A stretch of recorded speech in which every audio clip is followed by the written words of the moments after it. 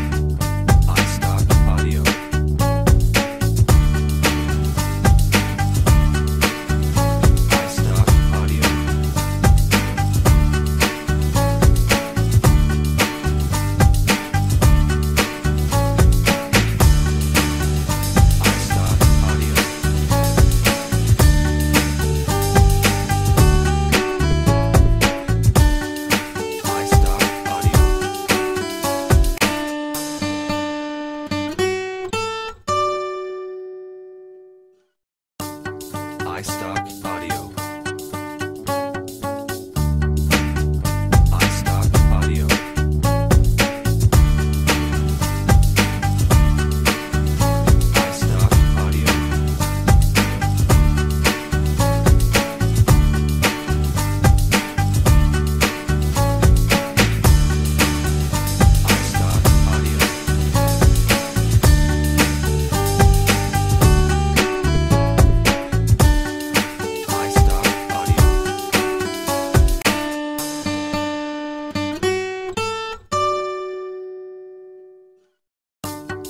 Stock Podcast.